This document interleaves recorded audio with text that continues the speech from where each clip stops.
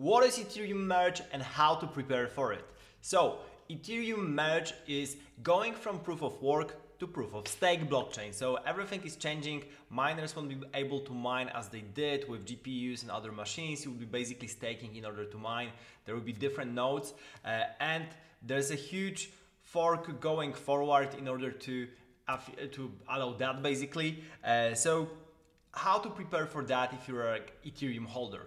Basically, the best strategy is to hold Ethereum in your own uh, self-custody wallet, uh, like a MetaMask or Ledger, uh, if you if you're using hardware wallets, but basically have your own wallet. Do not hold Ethereum on exchanges. And the reason for that is that uh, you might receive Ethereum also on the other chain. There will be this uh, POW proof of work Ethereum, uh, the old chain, and it might have some values. In the end, you might be able to buy it, sell it, trade it. Uh, so it's worth having your own wallet for that because this way you are sure that you will receive that if there's any possibility of getting that and if it will have any value. So first. First, we have explained that part. Uh, on CoinMarketCap, you can see the, the countdown to the merge. 8 days, 15 hours as of right now.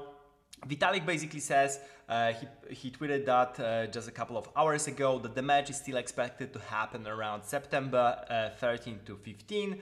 Uh, what's happening today is the Bellatrix hard fork which prepares the chain for the merge. Still important though, make sure to update your clients. Uh, so Cointelegraph basically is writing about that. Uh, the Bellatrix upgrade is basically making sure that once the merge happens, you'll be able to switch directly to proof of stake. 74% uh, almost clients are already ready. So uh, three fourths of the of the whole populations of client of the of the nodes. This is pretty cool. Uh, there's the whole uh, article on Cointelegraph about the merge and getting prepared for that. Uh, so it's pretty interesting. I will I will give you a link down below to that. Well, another thing you might wonder about is what about the price of Ethereum? Whether it will go up and down uh, after the merge, before the merge. And to be honest, nobody knows because you can argue uh, like the, the, the is already priced in, the merge is not priced in. Uh, you might have different strategies related to that. Uh, the good thing, if you have, if you're not a day trader, then probably the best thing you see, you can leave it alone uh, for now and just wait for the merge, merge and celebrate. Uh, the the good time for accumulating, well, it, it's always good time for accumulating Ethereum, of course. But uh, if you're looking for the best entry point, uh, you might wait a little bit longer depending if you think the, the, the merge is already priced in and there will be like a fallback in price because that's one narrative or you can start accumulating right now because after the merge uh, the, the quantity of Ethereum shall uh, will be decreasing basically with time. Uh, some Ethereum will be burned. Uh, so if you believe in that narrative, then probably the time for accumulation is right now because Ethereum should be uh, should go higher and higher.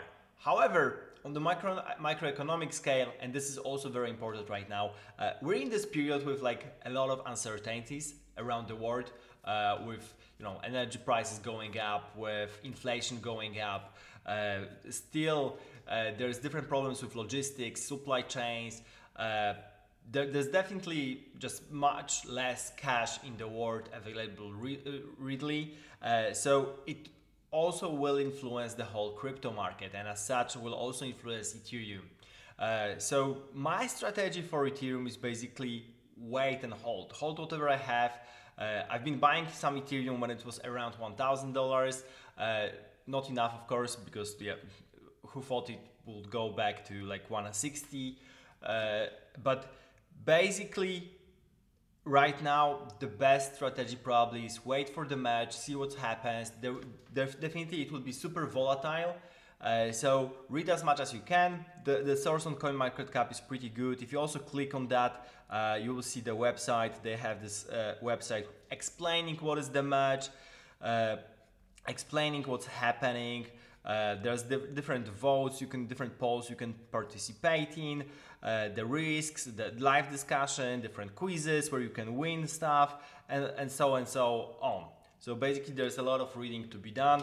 Uh, Ethereum in the past weeks were basically floating between uh, 1,300 and 1,800. Well, it went up to 2,000 for a brief period of time and then it fall down.